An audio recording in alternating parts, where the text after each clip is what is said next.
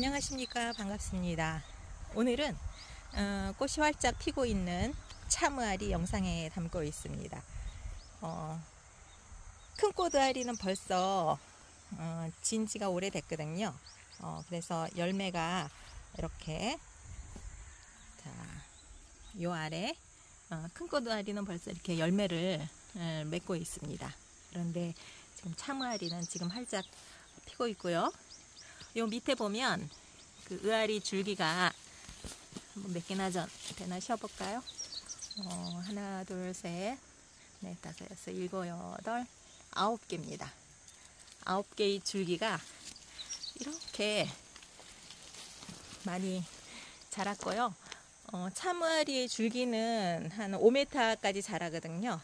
어, 그래서 어, 이렇게 자란 아이들이 지금 제가 지지대로 만들어 놓은 데를 타고 올라가서도 어, 그 넘게 지금 이렇게 창문까지 올라갔고요. 어, 남은 아이들은 어, 이렇게 앞으로 쏟아져 내리고 있습니다.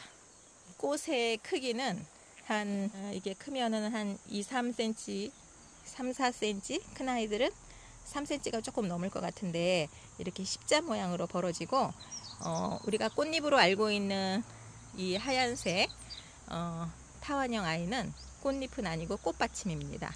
이 밑에 보면은 다른 꽃받침이 없죠. 예, 이거 꽃받침이고요.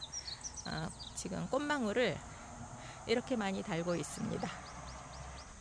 어, 심은 지 오래된 아이라 이렇게 어, 줄기도 굵고 어, 많이 뻗어 있습니다. 어, 이 굵기 비교해 볼까요?